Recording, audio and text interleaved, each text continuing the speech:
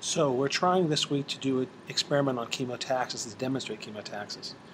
This is a simple way to do it, and I was hoping people would find something very similar to this, but this is at least an option um, if you have no idea what to try. And in fact, we're going to have materials out for you to do this anyway in addition to your attempts.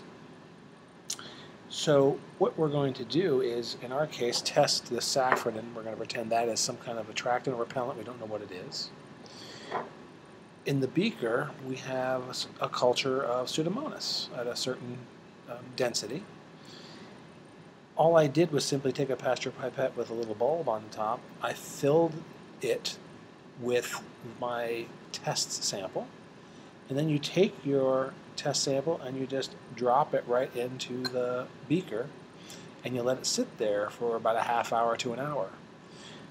If the material in this Pasteur pipette is an attractant, the bacteria should swim up into the tube, into the Pasteur pipette, and after a, a, a known time, like I said, maybe a half hour to an hour, you simply pull this out put it into a into a Eppendorf tube. Maybe wash off the tip of this before you do that to make sure there's no bacteria sticking on the outside. Um, and then you just serial dilute and plate this out, and that will let you know who swam up into the Pasteur pipette. Now you need a control, a negative control, and a positive control, but at least if you did this, you'd be able to quantify the bacteria that went up into this tube, and presumably, if they were attracted, you'd have a comparison and you would know.